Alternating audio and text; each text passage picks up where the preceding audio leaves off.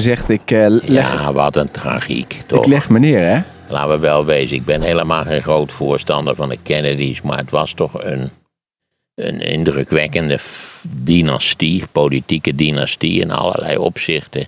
Ze hebben een historische rol gespeeld en dan deze afzwaaier, hè, deze, deze ongelukkige zoon van, van Robert Kennedy dus.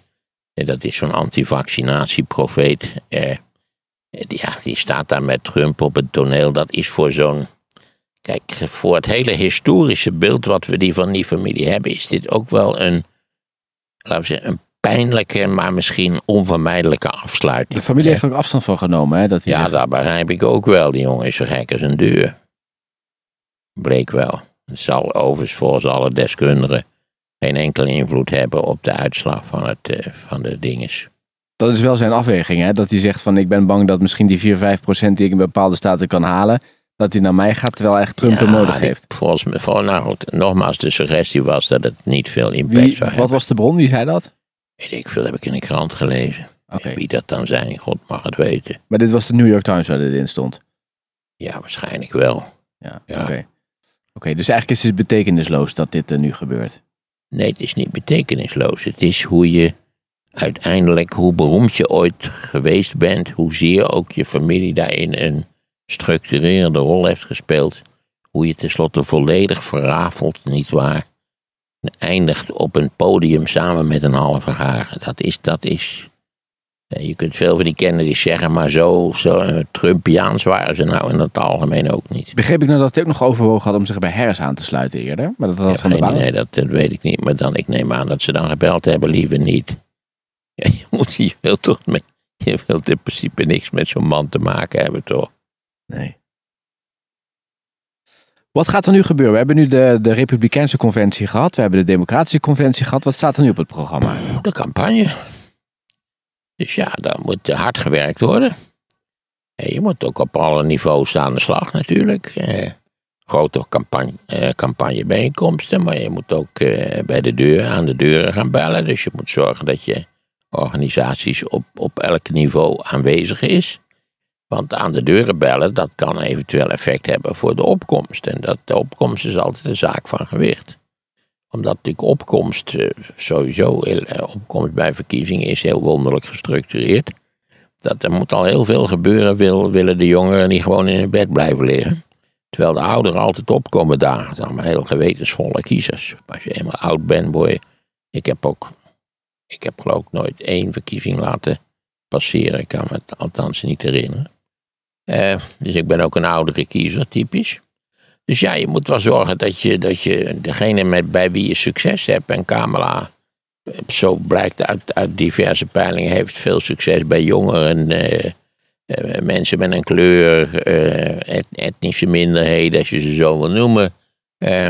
Ja, tegenwoordig moet je overal enorm oppassen. Het hele, het, eigenlijk de hele retoriek die moet je, moet je vinden door een soort scharrelpad tussen de landsmijnen van de politieke correctheid door. Maar goed, dus je moet wel zorgen dat die lui. Want je kunt wel meten dat de jongeren blij zijn met Kamala. Maar dat je blij bent wil helemaal niet zeggen dat je gaat stemmen. Dus je moet wel zorgen dat ze gaan stemmen. Sowieso is opkomst in Amerika natuurlijk een vrij pijnlijke zaak. En waarom zeg jij dat langs die deuren gaan, dat is belangrijk voor, eh, voor de opkomst? Nou, omdat je dan die mensen persoonlijk aan kunt spreken. Een enkeling zal ook de deur in je dicht, voor je neus dichtklappen natuurlijk. Maar eh, ja, je, moet er, je moet er wel werk van maken. En vooral in specifieke staten. Kijk, en in Californië hoef je niet de benen uit het lijf te lopen. Want die stemmen toch democratisch. Als je die verhoudingen ziet, dat, daar zal verder niets aan veranderen. En dat geldt ook voor een staat als New York natuurlijk. En, en andere staten. Hè.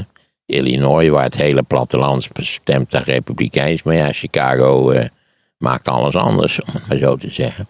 Dus ja, in die, in die specifieke staten waar het tenslotte allemaal om draait, moet je wel zorgen dat je present bent op alle niveaus. En de Democraten hadden er veel enthousiaste mensen bij gekregen door wat er nu gebeurt. Ja, eh, precies. Die, die bereid zijn om te gaan bellen. Het was natuurlijk duidelijk dat, dat je natuurlijk de, de, laten we zeggen, de, de, de, de bejaardenbrigade niet, die, die niet voor bij Biden langs de deuren gingen.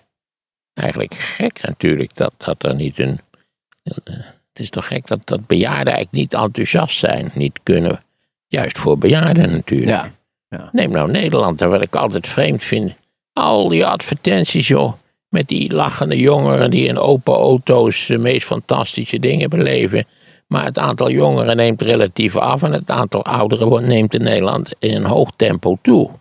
Ik zou zeggen, eh, richt je ook voor de rendementen, richt je op die ouderen die in Nederland ook in het algemeen financieel heel behoorlijk bij kas zijn. Maar dat is natuurlijk niet sexy om dan een ouder op zo'n plaatje te zetten. Nee, niet sexy, maar ik bedoel, daar gaat het toch geen advertenties, gaat het eigenlijk Nou, dat zegt toch het oog wel ook wat. De, de ingrijpende misvatting van advertentiemakers is dat we daar alleen maar sexy mensen zouden willen zien.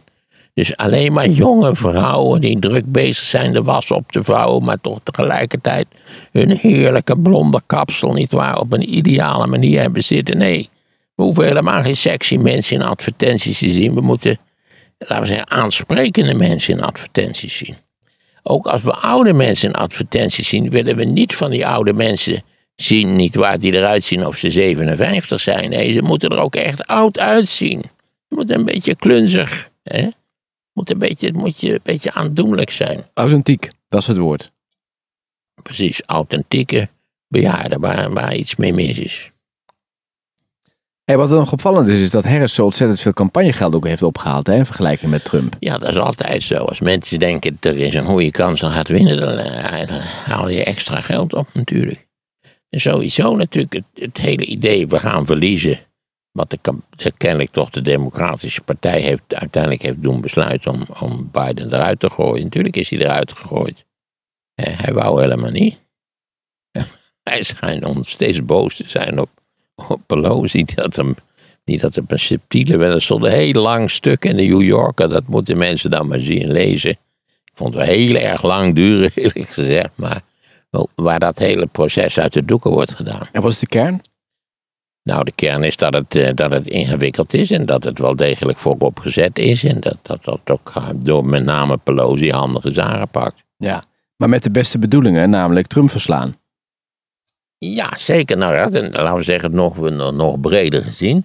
Ervoor zorgen dat de Democratische Partij niet in een wanhopige put valt.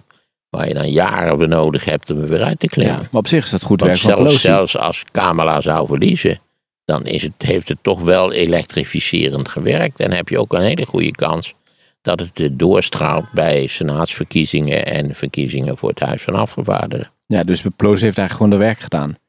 Zo is het maar net. Haar politieke werk. Het gaat Ja. om een partij. Nou zijn die partijen in Amerika natuurlijk, althans de Democratische Partij, is natuurlijk een vrij chaotisch zootje. Dat is een hele complexe coalitie van alle mogelijke verschillende soorten van groepen. Die ook niet altijd eh, op één lijn zitten, maar dat is juist zo interessant natuurlijk. Ja. En juist het feit dat de Republikeinse Partij in feite de gevangene is geworden van één enkele persoon.